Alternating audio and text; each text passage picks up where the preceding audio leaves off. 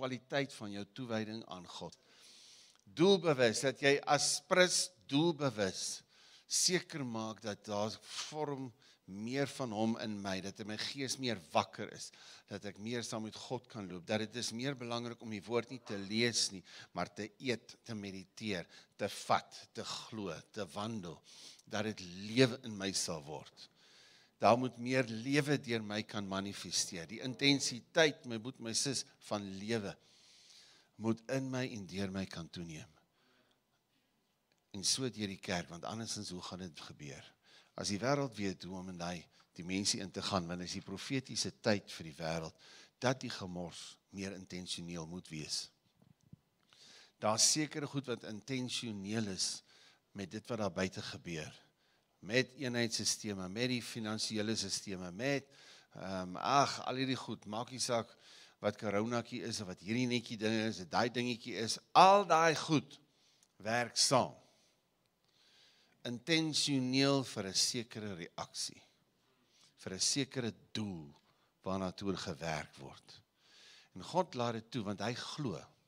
Hy glo sy kerk sal intentioneel opstaan.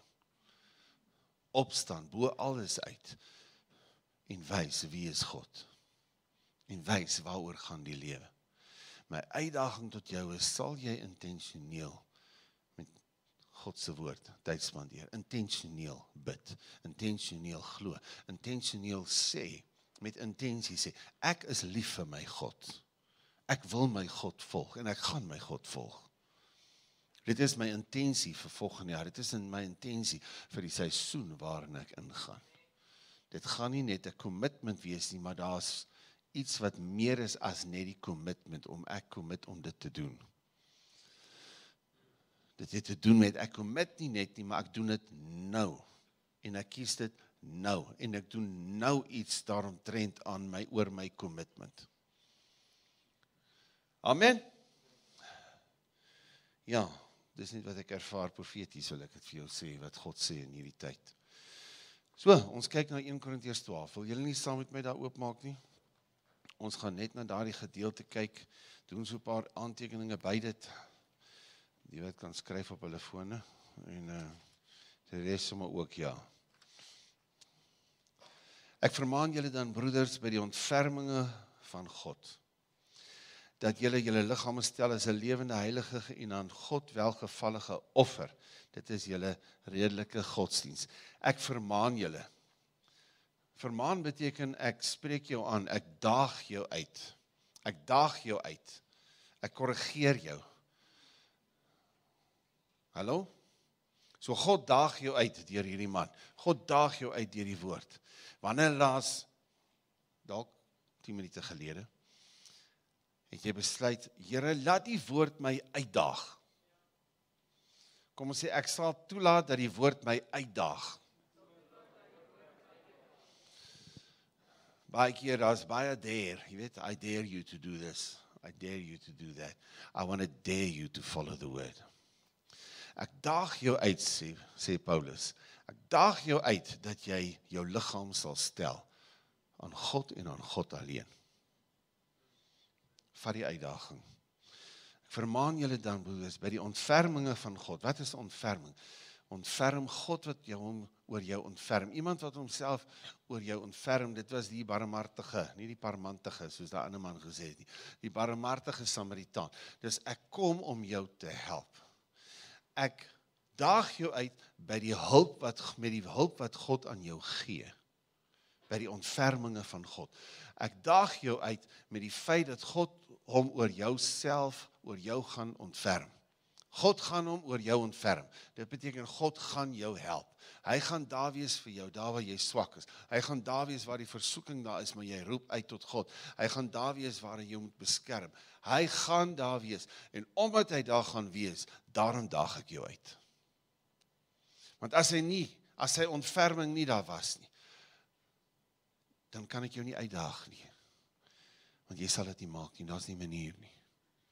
Maar omdat sy vermoë beskikbaar is, omdat hy daar is, omdat hy daar jou gaan opvat, optel en saam met hom vat. Daarom is die uitdaging dan altaar dat jy jouself, dat jy jou liggame sal stel. Eerste punt op so 'n manier eintlik nou al seker die vyfde punt, maar kom ons sê maar die eerste punt. Offer jou liggaam. Offer jou liggaam as 'n lewende, heilige en aan God welgevallige offer. Wat jy daar neerskryf, 'n lewende offer. 'n Lewende offer. Daar's baie offer wat offers wat gebring word. Maar in hierdie offer wil ek vir jou twee kante van 'n muntstuk gee. Jy's die een wat die offer bring, maar jy is ook die offerdier, as ek so kan stel. Jy's die Isak en, en jy's die Abraham. 'n Lewende offer. Jy's lewend in hoe jy die offer bring. Maar jou vlees vrek. Jou vlees vlees word geoffer. So my vlees, die vleeslikheid van my, offer ek dat hy doodgaan. Dat hy moet vrek. Die aktiewe vorm van dood, né? Julle is met my. Maar ek met die lewe wat in my is, ek met die lewe wat in my is, is die een wat dit offer. Ek offer my liggaam. Ek offer hierdie gedagte. Ek vat hierdie ding en ek sê jy gaan vrek. Jy gaan nie weer met my praat nie. Die lijk kan nie met jou praat nie. Hy's dood. Né? Nee. Hierdie gedagtes is dood. Hierdie versoekinge is dood. Hierdie offenses is dood. Hierdie issuetjies is dood. Ek offer hierdie goed. As hy dan sê offer jou liggaam is dit net eenmalig. Nee, dis toe jou hart vir die Here gegee het. Maar offer jou liggaam is 'n word soos 'n lewenstyl. Dat as ek in, in hierdie situasies kom, daar is 'n altaar en ek bly by die altaar. Dis die altaar van die kruis. Maar ek dog jy het een keer gesterf in Christus Jesus, jy het nie geword. Ja. Maar in jou kop met hierdie goed, is dit hierdie goed wat jy sê. Weet jy, jy het geen reg in my nie aan die kruis. Jy's aan die kruis. Jy's aan die kruis. Hallo? Jy vat daai ding en sê jy het geen reg nie. Jy het geen reg hier nie. Maar in my offer het dit te doen met aanbidding ook. En ek lewe in my aanbidding. Daar's 'n lewe in my aanbidding. Daar's 'n lewe wanneer ek sê voor U lê ek my lewe neer. Daar's 'n lewe wanneer ek die dag sê, wanneer ek vanmôre sê ek gee oor tot U wil. Doen slegs U wil, Heer, U wil deur my. Dis 'n dis 'n sinnetjie van ek offer my lewe. Maar is in die konteks van lewe is in die konteks van lewe wat mooi is. Partykeer kan ouens offer dit wat net dit wat lelik is. Maar daar's iets in offer wat mooi is. Ek vermaan jou, ek daag jou uit om op 'n mooi manier om op 'n mooi manier, jy kan dit dan neerskryf, om op 'n mooi manier jou lewe te gee. En ek dink, Here, ek ek offer dit nou op. Ek sal dit mag ek gee dit vir U. Dit is my sleg. Is my sleg om dit te doen, maar ek gee dit vir U. Jy het dit nog nie reg geoffer nie. Jy sê dit totdat until there's joy in the offering. Dit sê die skrif there's joy in the offering. Jy moet dit as 'n vreugde aan die einde van die dag sien. Want Hebreërs 12, dit wat dit neerskryf, Hebreërs 12 vers 2 sê vir die vreugde wat hom voorgehou is, vir die vreugde wat Jesus voorgehou is, het hy homself gegee om te sterf. Hy was die lam, maar hy was ook die een wat besluit het om homself te offer. Is jy met my? So wees die een wat geoffer is, maar wees ook die een wat jouself offer. Alles deur die vermoë van God. Offer jou liggaam as 'n heilige, as 'n lewende heilige. Jy weet heilig beteken eenkant gesit. Uniek. Uniek. Jy word 'n unieke offer. Daar's geen ander offer wat so moet gebring kan word as die unieke offer wie jy is nie op 'n baie spesiale manier. Heiligheid te doen met eenkant gesit vir God totaal onvergelykbaar spesiale manier. So op 'n baie spesiale manier, op 'n baie unieke spesiale manier gee jy jou lewe. Dis 'n heilige offer. Robbies kan nie aan dit raak nie. Dit is vir jou spesiaal. Dis heilig. Dis mooi. Dis eenkant gesit. Dis jy en God. Dis tussen jou en God. Hierdie saak is tussen jou en God. Jy doen dit om vir jou lief, omdat jy vir hom lief is. Nie oor daai een en daai een. Jy weet jy en ons moet ons wil ons lewens offer en partykeer, maar partykeer is dit in die midde van 'n gemors. Ons sal maar alles neer lê. En baie keer bring die omstandighede my op 'n punt dat ek nou maar alles moet opgee. En dan sê my vlees gee op. Maar my gees sê dis mooi. Dis 'n heilige offer. En as jy dit sien, net as ek gee op, daar's geen oes wat vir jou wag nie. Jy het geen oes nie. Jy het jou oes opgemors. Daai 30, 60, 100voudige oes wat jy kan insamel deur jou lewe. Dit wat jy kan ontvang, het jy opgemors. Jy het daai saad vertrap. Here, jy dit net sien. Ek het opgegee. Ja, in jou vlees sê jy, ek gee op. Ek gee op. Maar vanuit jou gees dit is vir my mooi dat ek myself vir hom kan gee. Dit is vir my 'n voorreg. En almal sê dit is vir my 'n voorreg. Dit is vir my mooi om myself aan God te gee. Hallo. Maar jou vlees kan so wakker wees dat hy net sê, gaan jy nou maar opgee. Gaan jy nou maar opgee. Maar vir God is dit dalk net gewoon oorgee. nie opgee nie, maar gee dit oor tot hom. Amen. Soos met mekaar, welgevallige. Huh? Engels sê pleasing unto God. Ek moet dit sê in hierdie geval is die Engels makliker as die Afrikaans. Welgevallige. Ons haleluja net tot die Here, dankie. Welgevallige offer. Wat dit beteken, dit is in die konteks van aanbidding waar God dit geniet. Welgevallig, dis welgevallig in sy oë, pleasing unto God. Pleasing unto God dat jy jouself op so 'n manier offer dat God dit geniet. God wil nie hê sy kinders moet net suffer en dit moet net 'n gemors wees en hulle moet net opgee. Hulle moet hierdie stryd gee en hulle moet net in hulle self die goed verloor, die dinge verloor en dan maar net Nee. Dis nie die tipe wyse wat hy wil hê jy moet jou offer bring nie. Hy wil hê jy moet dit bring vanuit die lewe van God wat in jou is. Hy wil hê jy moet dit bring vanuit aanbidding. Hy wil hê jy moet dit bring as 'n voorreg tot hom. Hy wil hê dit moet vir jou mooi wees. Dit moet vir jou uniek wees. Hallo?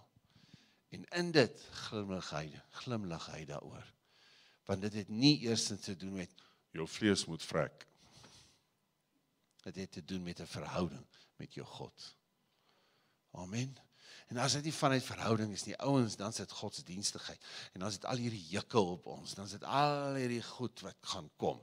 En dan sit al hierdie goed wat gaan kom in 2021. In 2021 gaan hierdie jukke op jou lê. Dit gaan sleg wees, 'n klomp goed, die keuses wat jy moet neem. Die keuses om weg te beweeg van 'n klomp goed. Die keuses wat jy gaan moet opgee. Die keuses van goed wat jy moet kwit. Die keuses wat jy gaan verloor. Dit gaan jou lewe wees volgende jaar tensy jy besluit. Dit sal vir my 'n offer wees wat mooi is waar God selfs in dit glimlag. En dit gaan vir my 'n voorreg wees. Kom ons maak daai keuse in hierdie seisoen, nie net vir môre nie. Halleluja. Dan sê hy in vers 2 en word nie aan hierdie wêreld gelykvormig nie, maar word verander deur die vernuwing van julle gemoed die verander deur te verander in julle gemoed. Draai jou gemoed. Sê vir jouself, ek gaan my gemoed draai. Maak net bietjie so. Hallo, is julle met my? Daar sê, okay, onthou dit tog net. Volgende keer as jy jou opruk, draai my gemoed na die woord van God toe. Klaar. Ek gaan nie net dink en doen wat ek wil nie draai jou gemoed deur wat te breek met die wêreld, daai keuse te maak. Ek kan sê ek word nie aan hierdie wêreld gelykvormig nie. Dis daai keuse. Word nie aan hierdie wêreld gelykvormig nie. Wat is dit? Eerstens 'n keuse in die naam van Jesus. Ek gaan nie dink soos wat die wêreld dink nie. Maak eers daai keuse, want as jy nie daai keuse maak nie, as jy nie daai keuse maak om te sê ek gaan nie soos die wêreld dink nie, wat Hoe interpreteer jy God se woord? Dis nou maar so tussen in deur. Hierdie hierdie woord toe sê so my vlees sê so my omstandighede sê so dit sê so dat sê so. En so gaan ek so half wishy washy deur al die gedagtes. Wie het al deur 'n warboel van gedagtes gegaan en dan weet jy hierdie is vlees maar dan weet jy nie wat's hierdie nou dan is dit twyfel en dan is dit vlees en dan is dit vrees en dan is dit godsdienstigheid dan is dit performance en jy weet jy is veronderstel om dit te doen. En dit is 'n gemors man. En jy versuip in al jou gedagtes maak eers 'n keuse om sê ek gaan breek met die wêreld. Dis nou my keuse. Ek soek daai alle ander gedagtes dat hy moet gaan in die naam van Jesus in geloof. Here, kies ek dit. My geloof gaan die wêreld oorwin. sê die skrif. So ek maak daai keuse in die naam van Jesus. Ek gaan breek met die wêreld. Ek soek nie meer al hierdie gedagtes wat al hierdie verwarring en hierdie versyp versyp storie bring wanneer ek moet dink wat sê God, wat sê God nie. Ek draai my rug op dit. Ek breek met die wêreld. Maar ek kan nie breek met die wêreld as ek nie verander nie. Maar ek moet verander na hoe God dink. En so kan ek die stryd hê met die wêreld, maar ek voeg is ek sit met 'n stryd met die wêreld die hele tyd. Want hierdie gedagtes leef in my, hy's wakker in my. God wil nie hê jy moet daai stryd hê die hele tyd nie. Hallo? Maar kan jy besluit ek ek draai my rug op al hierdie goed. Ek verneder daai gedagtes. Ek gee hulle 'n bietjie meer en meer 'n flat ignore. Ek gaan hulle nie eer dat ek kry al weer sulke gedagtes. Ek wil amper sê as jy daai gedagte kry, sê sou wat. Jy gaan nie aan hom aandag gee nie. As jy weer daai gedagte kry dat jy jou man wil vermoor, jy weet? Kry jy weg van daai gedagte. Nee, wat ook al in hy vlees opstaan. As hy daai vrees, ja maar hoe gaan dit? Ja maar hoe gaan dit? Ja, ek draai my. Ek gaan nie weer daai pad gaan nie. Ek gaan nie weer daai pad gaan van maar ja maar hoe dit? Ja maar hoe gaan dit? Ja maar hoe gaan dit? Ek draai my rug op daai goed. Hallo? Want as ek my rug draai op dit, dan kan dinge verander. En hy moet verander want andersins môre dan val ek weer in hierdie gemors in draai my rug, maar dan moet ek die keuse maak om te verander en ek moet verander. Hoe? Met die woord, met die woord. Meer van hom, minder van my. Meer van hom, minder van my. Maar maar word verander deur die vernuwing van julle gemoed. Vernuwing van julle gemoed is jy moet begin dink soos wat hy dink. Jy moet dink soos wat hy dink. Oor hierdie saak sê God die volgende. Nou kan jy sê jong, ek Here, wat sê u vir my oor finansies. Geef vir my 'n skrif oor finansies. Dis nou nice. Gee 'n skrif oor finansies. En die Here sê vir jou, moenie dit doen nie, doen dat. Dis reg. Dit is die volgende punt sodat jy kan beproef wat die goeie welgevallige en volmaakte wil van God is. Dis die volgende punt. Maar ons skiep die vernuwing van die gemoed. Gee myself aan die Here. Gee myself aan die Here. Ja, ek moenie hierdie robbies, weet nie, maar Here, wat sê U vir my? Wat is U wil? En dan gaan doen ek U wil. Maar dan werk baie goed nie uit nie. Of dan is die geloof nie meer daar nie. Elk net in twee van julle. Hoekom? Want jy het geskiep die vernuwing van jou gemoed. Want eerstens, wat sê God dan oor voorsiening? Oor die beginsel. Ek wil die Here wil weet, Here, moet ek daai besigheid, moet ek dit belê daar, wat moet ek hierdie finansies daar belê, wat moet ek met my skuld doen? Wat gee vir my, gee vir my u wil. Die Here kan vir my die wil, sy wil wys. Hy kan maar ek het nie my gemoed vernuwe nie. Maar ek het nie my gemoed vernuwe nie.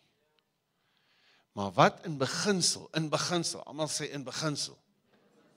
Sê God oor skuld, oor voorsiening, oor finansies, oor die hantering van dit, oor die gevare, oor die die slaggate van geldgierigheid. Wat sê God oor al hierdie fasette van finansies?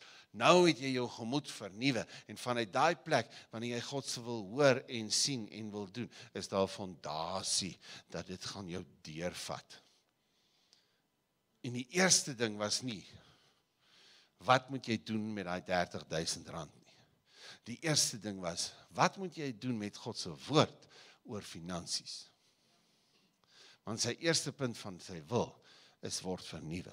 Word vernuwe sodat jy kan beproef. Hallo. Is jy met my? Maar baie keer God in sy genade sal sê moenie daai pad gaan nie, gaan daai daai pad. Maar as jy sy woord leer ken het, dan weet jy sommer outomaties jy kan nie daai pad gaan nie, jy moet die ander pad gaan. Jy kan nie links gaan nie, want dit is nie volgens God se woord nie. Maar hoe weet jy dit? Want sy woord is hier binne in jou. So daar is 20, 30, 40 goed wat jy outomaties gaan weet. Dit is nie God se wil nie, maar dit is God se wil. As ek my gemoed nie vernuwe het nie, God in sy genade kan vir my sê, moenie hierdie goed doen nie, doen daardie. Is julle met my? Hy kan die stuurwiel vat, maar hy wil langs aan sit en jou leer om te bestuur. Is julle met my? Mag God jou help, mag God my help. Draai jou gemoed, breek met die wêreld, verander, vernuwe. Vernuwe is daar's 'n nuutheid in jou. Daar's 'n nuutheid in jou.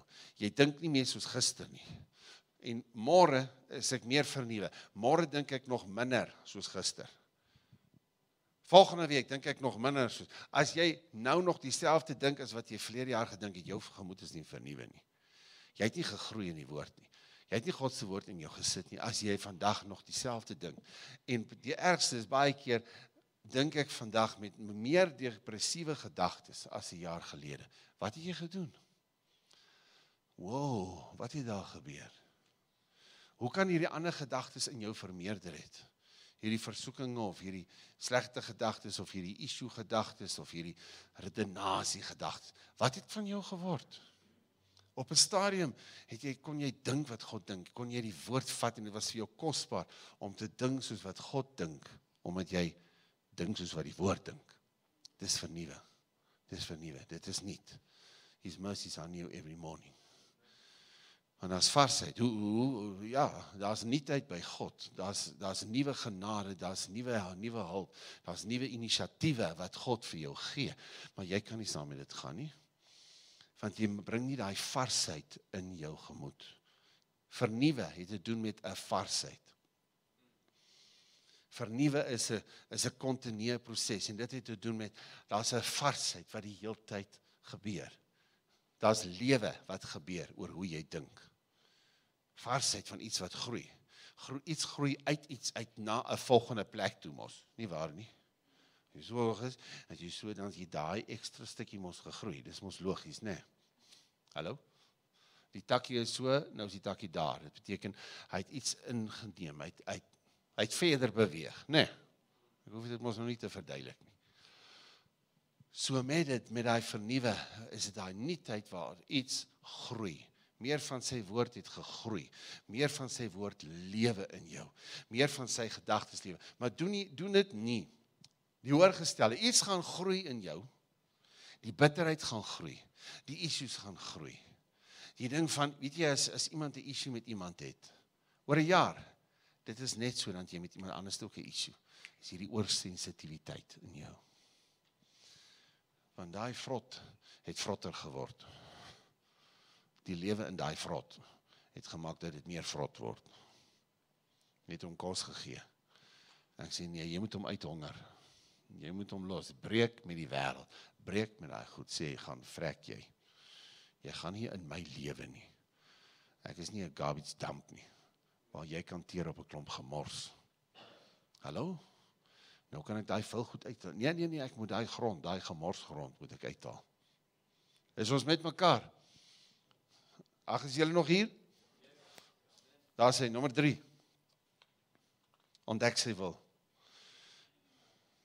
Word jy aan hierdie wêreld gelykvormig nie? Breek met hom. Maar word verander, kies dit nê, deur die vernuwing van julle gemoed sodat sodat sodat julle kan beproef wat die goeie, welgevallige, volmaakte wil van God is. Jy kan môre weet ek moet links draai, ek moet nie regs draai nie met my lewe. En God in sy genade kan vir jou sê, los hierdie werk en kry dan vat daardie ander werk wat wat hy vir jou het. Dis great. Gaan nie vir jou sê los hierdie vrou en vat daai ander vrou nie, nee. Hy gaan vir jou sê hoe jy dit moet hanteer. Is ons met mekaar. Maar om te kan beproef, beproef. Jy weet wanneer jy iets beproef, ehm um, hoe, hoe, hoe moet ons dit sê? The proof is in the pudding. You ehm um, jy weet die kwaliteit van iets. Jy beproef. Bedoel, bedoel ek ek leer die kwaliteit van sy wil. Ek Beproef wat is sy goeie, welgevallige, volmaakte wil. Daai beproef is leer die kwaliteit van God se wil. Leer die kwaliteite van sy wil en om hoe om sy wil te doen. Kom ons sê ek sal die kwaliteit van God se wil leer. Daar's 'n kwaliteit in dit wat God besluit. Wanneer God iets besluit, daar's daar's kwaliteit in dit. Dit het ewige waarde dit wat God besluit. En wanneer ek verstaan daar's so 'n kwaliteit, daar's 'n kosbaarheid in sy wil. En dit wat hy besluit, is daar iets fantasties. En dit wat hy besluit is daar 'n toekoms. En dit wat hy besluit is daar vrymaak. En dit wat hy besluit is ek wil weet wat hy besluit. Ek wil weet hoe hy besluit te neem. Ek wil hê hy moet die besluit te neem, nie ek nie. Ek wil hê hy moet die besluit neem, nie my omstandighede nie. Selfs die sukses kan vir my besluite maak. Want ek sien die sukses in my lewe en op grond van dit sê ek, "Yes, ek gaan dit doen." Want jy sien 'n kwaliteit van dit wat om jou gebeur, maar is dit die kwaliteit wat God het vir jou? Daar's 'n kwaliteit in God se besluite om te beproef, beproef, beproef. The proof is in the pudding sien die kwaliteit van God se keuses. En dit beteken nie verstaan sy keuses nie. Maar omdat ek my gemoed nie vernuwe nie. Hallo, want ek het my liggaam nie gegee. Ek het my liggaam gegee as 'n heilige, welgevallige offer aan God as in aanbidding met kwaliteit waaroor hy glimlag. Omdat ek dit nie gedoen het en my gemoed nie vernuwe het nie, kan ek nie verstaan Here, hoekom sê U vir my dit? Ek verstaan nie U wil nie. Dis hoekom jy wil weet, want jy het hierdie ander prosesse laat jy nie toe nie. Daarom wil jy die hele tyd weet. Daarom wil jy die hele tyd verstaan. Hoekom? Nee. Jy wil jy wil beproef vanaf jou kant deur te sê ek wil verstaan. Ja, dis wat die ateë sê. As ek God nie kan verstaan nie, bestaan hy nie so as en en die, en die element in jou lewe vandag. As ek nie verstaan wat môre moet gebeur nie, dan los ek dit want dan sê ek God is nie in dit nie. Sê wie?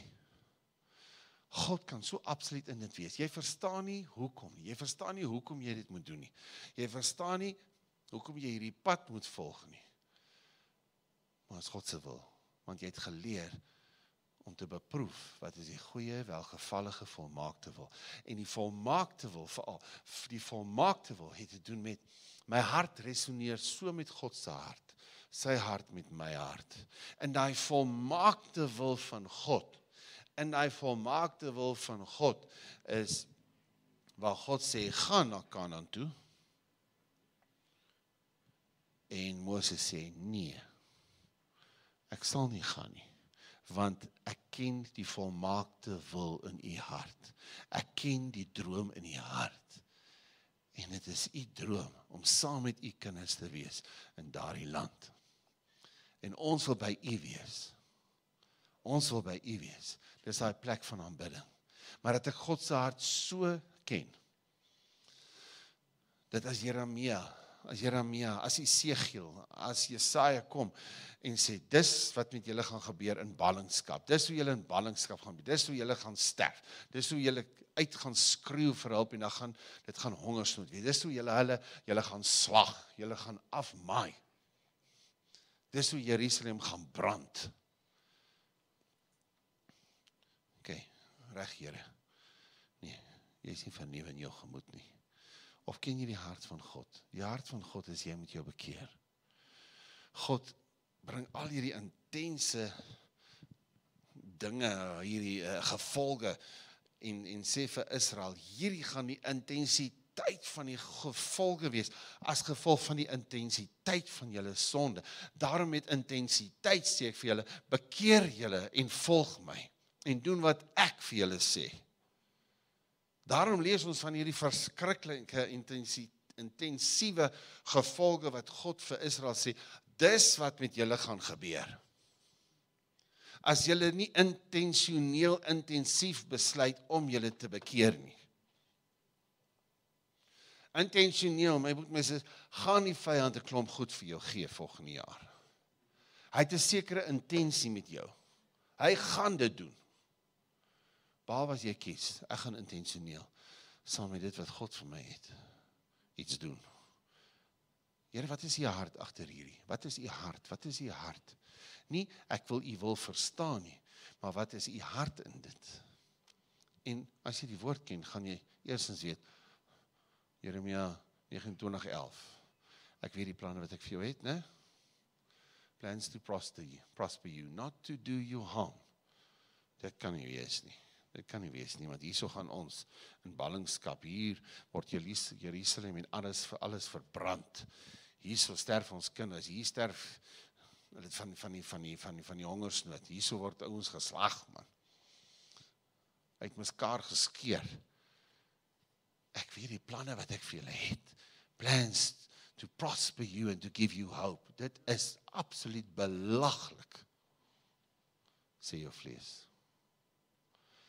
En so in jou gemoed is daar goed wat jy kan sê belaglik is omdat jy, jy dit nie verstaan nie.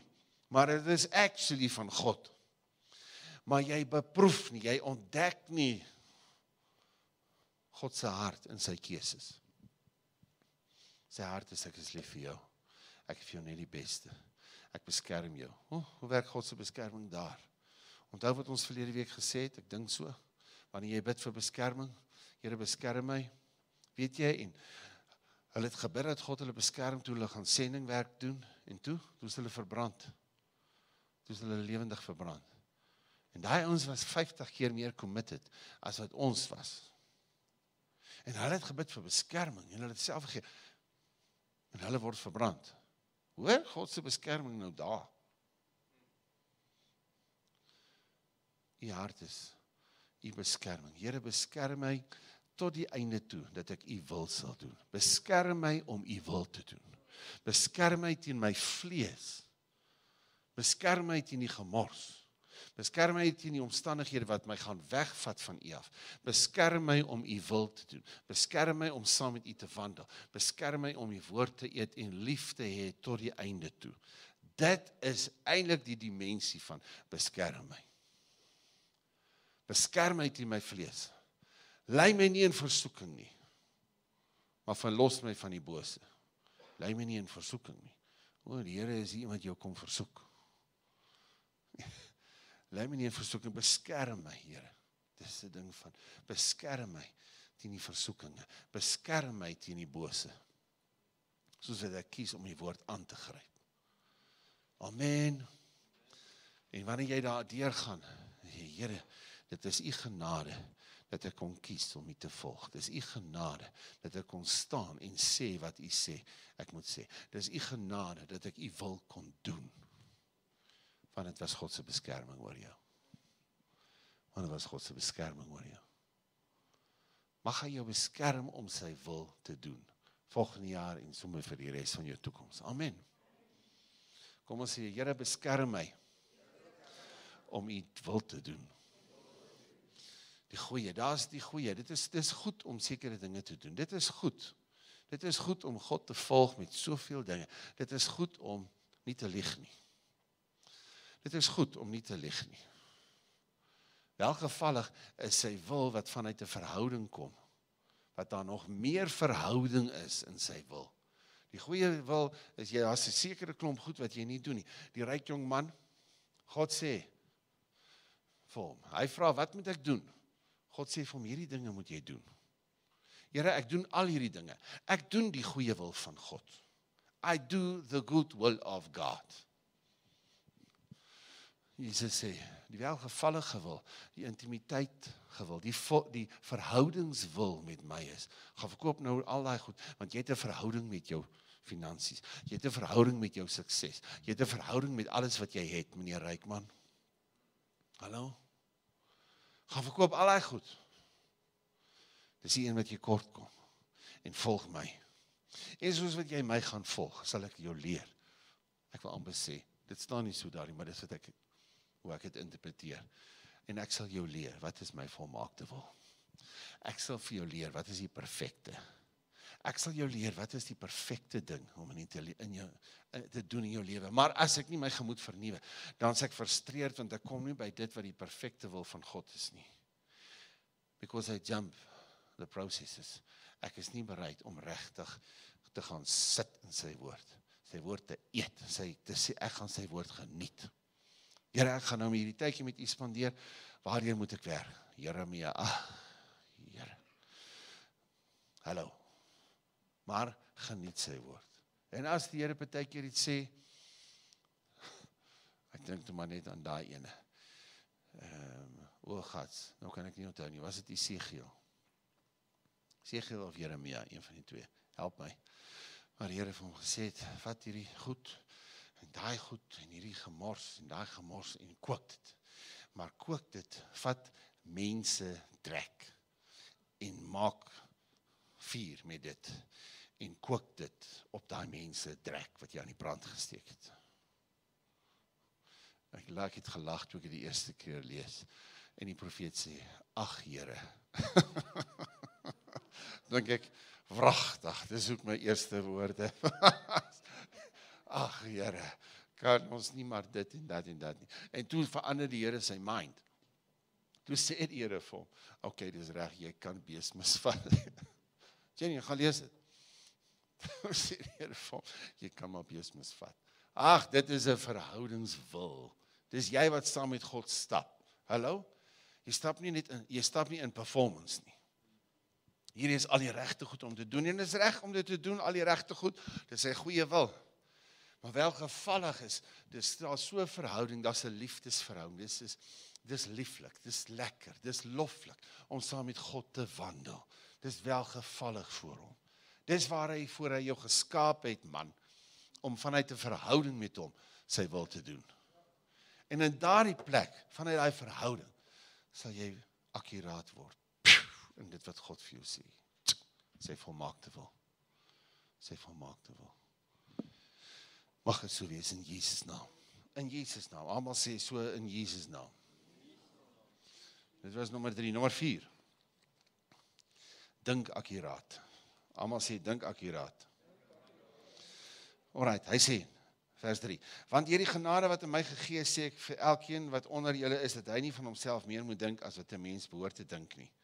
Maar dan moet hy moet daarin dink om besadig te wees na die maat van geloof soos God dit aan elkeen toebedeel. Julle dit is 'n hele uur teaching met 'n teksvers wat ons kan vat vanuit hom. 'n Hele uur teaching daai. Ek gaan dit nie nou doen nie, maar oh, as jy al hierdie goed doen, dan moet jy op 'n plek kom om te weet wie is ek in Christus. Jy kan dit daarby skryf. Wie Christus in my en ek in Christus. Wie is hy in my? Wie is ek in hom? Hallo? Want hy is in my toe kom aangeneem het. Maar wie is ek in hom? Want my lewe is verborge in hom, dit moet geopenbaar word in hom, sê die skrif. Ek los hom net daarso. Maar hoe jy oor jouself dink, oor hoe jy jouself vergelyk met ander en dit gee vir jou waarde. Wie van julle jy het geval en iemand anders het dit gemaak? Wie kan onthou dalk iets jy het vir 'n toets 50% gekry en die ander het 80% gekry, maar jy het ook hard geleer. Jy is nou maar excited daaroor, nê? Nee. nee. Maar moenie dat dit jou vernietig nie. Gee jouself volkome. Amen. As hierdie een ou, jy weet, hy het hierdie geloof, hy kan dit doen, hy kan dat doen. Hy praat en dan gebeur dit. Ja, ons moet groei in geloof. Maar God het vir jou 'n sekere geloof gegee dat ek sal hierdie ding doen in getrouheid. Nie soos 'n donkie nie. Maar ek het die geloof dat ek sal hierdie ding doen al is daar nie hierdie groot wonderwerke wat gebeur nie. Sal ek nog steeds getrou wees en ek het geloof om nog steeds getrou te wees al verander sekere goed nie. Israel moet kies om getrou te wees al kry hulle nie die beloofde land nie. Hulle gaan getrou wees. Hulle gaan glo want eers gaan hulle kinders of hulle kleinkinders daai land vat erns gaan hulle kinders of hulle kleinkinders. Mag God jou help om volgens daai maat van geloof wat God jou gee, 'n mandaat te dra, sy woord te dra. Ek glo God is goed. En jy moet gaan deur deur hel met 'n sekere klomp dinge in jou lewe, maar jy die geloof om te glo. God is goed. En daai geloof is dalk baie meer as die ander man wat net vir iemand hand op lê en daar klim hy die reistool uit op. Dit beteken nie ons moet nie nie in die gawes vloei nie. Ons moet ons moet kan bid vir die ouens om uit die rolstoel uit op te staan. Hallo? Maar daar waar jy self in daai rolstoel gaan sit in depressie en in moedeloosheid, moet jy kan uit daai rolstoel uit opstaan van depressie en sê God is goed. En jy staan uit daai rolstoel uit op. So moenie jou vergelyk met ander en dink jy's beter of minder. Nee. Staan met die unieke geloof wat God vir jou het. Is jy met my? Ag asseblief man.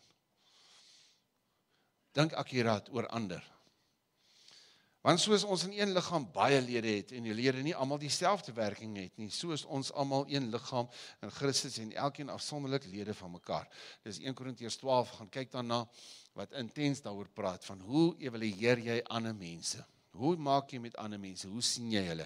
Hoe besef jy jy het hulle nodig en jy eer hulle funksie. Jy eer hoe God hulle gebruik. Jy eer hulle genadegawes. Jy eer die salwing op hulle wat op hulle lewe is.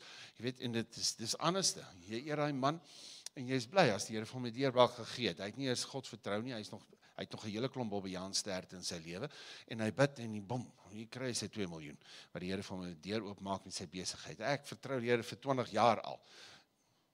En 'n paar duisend het ingekom. Wat ek ontspaar nadat ek my vrek gewerk het. Hallo.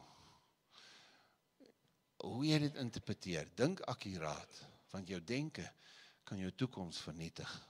Jou denke, soos wat 'n man dink, so is hy, sê Spreuke. En so word hy. OK, oor die genadegawes. Hoe dink jy daaroor? Ons besit genadegawes. Wat verskil? Almal sê wat verskil? volgens die genade, volgens die vermoë wat God aan ons gegee het. Die een is profesie, die ander een is meer dit, die ander een is meer dat. Al goed, alraai. Julle het hom. Gaan kyk daarna asseblief. Gaan kyk na hoe God elkeen iets anders te wil gee. Hoekom die Here nou vir hom net gegee nie vir my nie? Jaloesie is die eerste onsaglike intense versoeking wat die twee broers dat die een die ander doodmaak. Want hierdie jaloesie, maar hoekom was syne aanvaarbaar en myne nie? Leer daaruit. Leer uit sekere beginsels van jou boetie en jou sussie. Leer uit. As jy gemors gemaak het, maar jou hart was was mooi. Jy het nie gesê ek wil vir die Here 'n vrot offer bring, daarom vat ek bring ek al die graan en en en al die appeltjies en en van al hierdie goed bring ek vir die Here offer nie. Dis nie wat Kain gesê het nie. Dit was nie sy hart nie. Hallo. So jou hart is nie noodwendig verkeerd nie. Jou hart was nie vrot nie. Maar as dit dit wat nie akkuraat was wat gebeur het nie. As dit nie aanvaarbaar was voor God nie. Gaan jy nou jou toekoms verloor vanuit jaloesie? En eintlik 'n instrument word in die hand van die vyand teen jou boetie wat jy goed begin spreek. Ja, maar hy het net dit. Ja, maar hy het net dit. Weet weet jy daar's daar sekere kerke wat sekere goed doen. Ek wil sê, weet jy, CRC, daar's 'n klomp foute. Maar weet jy, Jy kry ouens wat dan vanuit jaloesie sê ja nee, ek wil nie deel wees nie want hulle so en so en so en so. Ja, dit is reg as God jou lei om nie daar deel te wees nie. Maar sit 'n hand op jou mond. Party net vanuit jaloesie. Is dit omdat daar soveel mense gered word? Ja, baie van dit is verkeerd in die sin van ek wil nie dit sê of ek wil nie dat sê nie. Maar wat ek net sê, so is daar baie dinge hier verkeerd. In elke gemeente is daar goed wat verkeerd is. Maar wie het jou geroep as regter? Maak seker. Hoe dink jy oor die genadegawes? Hoe dink jy oor ander? Wat dink jy oor jouself? Moenie meer van jouself dink as wat jy veronderstel is om te dink nie. O nee, ek gaan nie meer van myself dink nie. Dit gebeur outomaties wanneer jy hoe jy praat oor ander.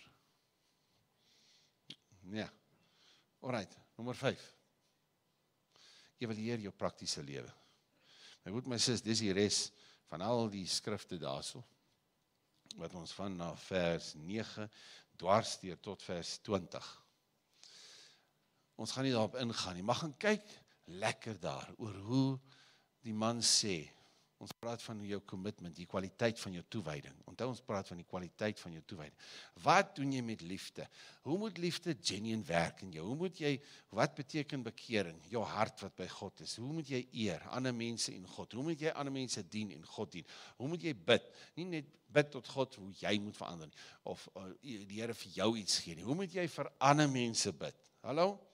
Eenheid wat daar moet wees. Nederigheid in jou wandel vergifnis wat onmiddellik daar moet kan wees. Ek het die ek het die voorreg om vergifnis te gee, maar dit word ook vereis deur my God. Vrygewe is dat ek vrygewig is. O nee, ons kan vry met vrygewigheid kan ons so maklik besluit. Ja, maar daai ene eh, gaan dit met die met dit doen. Daai ene gaan dit opmors. Daai ene is hierso as gevolg van dit. Daai ene het daai situasie en daar's die kos iemand hy's net gewoon lui. Laat hom suffer. O, nie sal nie dit sê nie. Ek gaan maar maar jy kan nie in daai situasie gee nie. Jy vra vir die Here. En dis dit. En hy kan jou uitdag. Hy het genesing gegee, hy het duiwels uitgedryf, hy het voorsiening gegee met daai 5000 wat geëet het en daai 7000 wat geëet het. Nee. Jesus se ten minste 1000 wat lei is, wat nie werk nie. Separate die 6000 en die 1000 en gee vir die 6000 kos.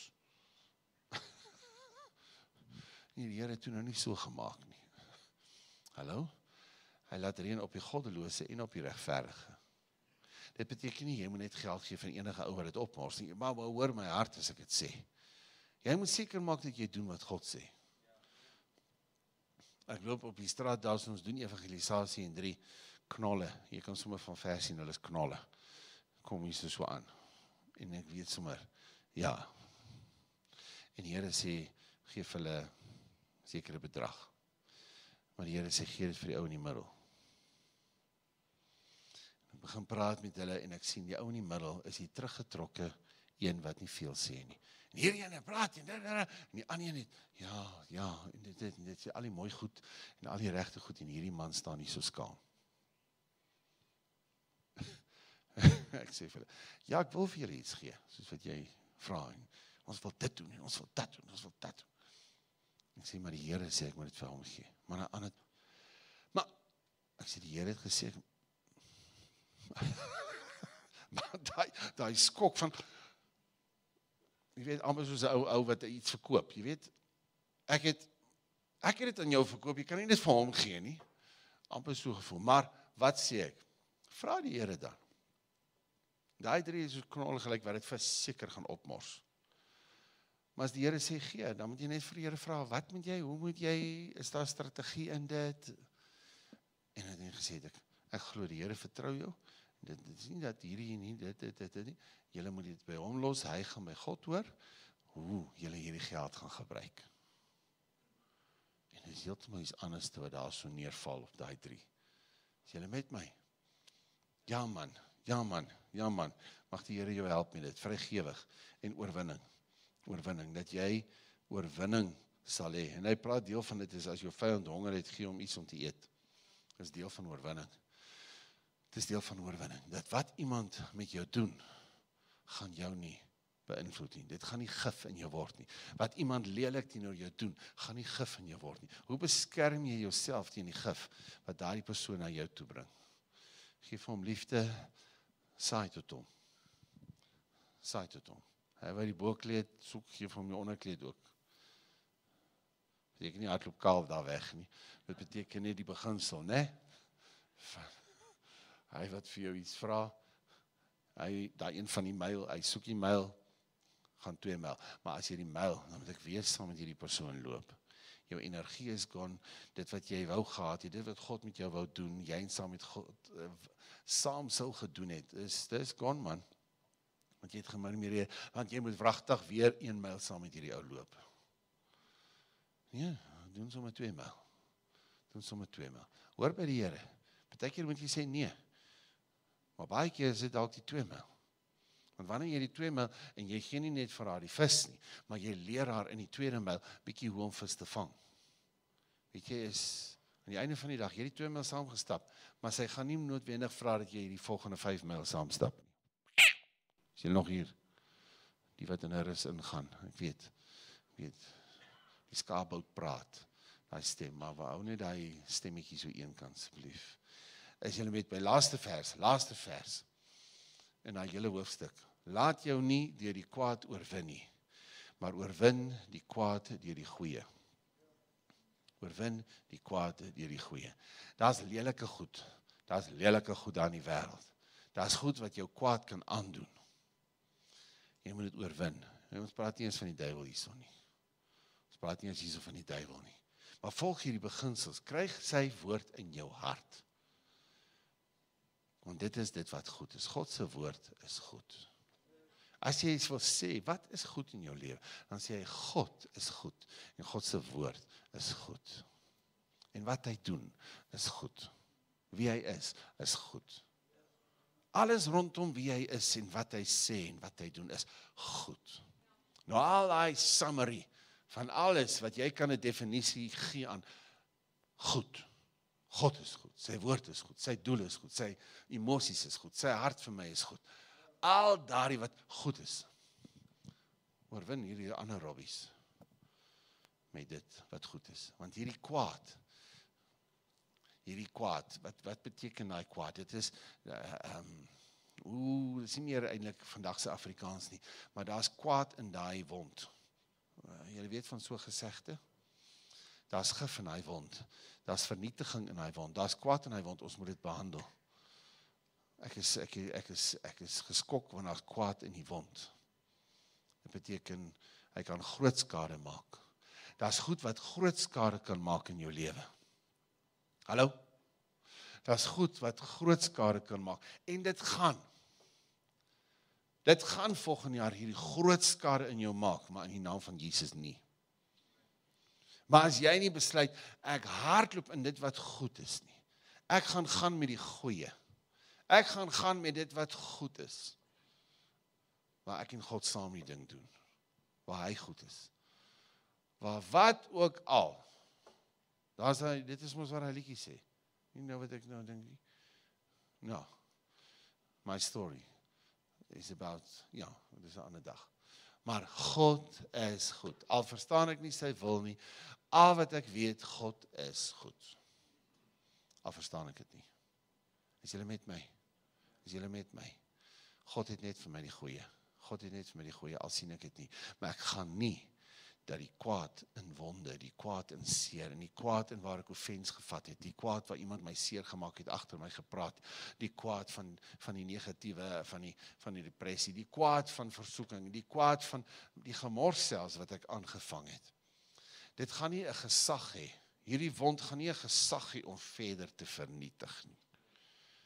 In hierdie slegte gaan daar nie gesag wees in hierdie wond gaan daar nie gesag wees om my verder te vernietig nie die krag en die autoriteit in daai gemors. Ek ek staan teen dit deur wat te doen. Ek staan in in die autoriteit dat God is goed, sy woord is goed, sy wil is goed of ek dit verstaan of ek dit vang of nie.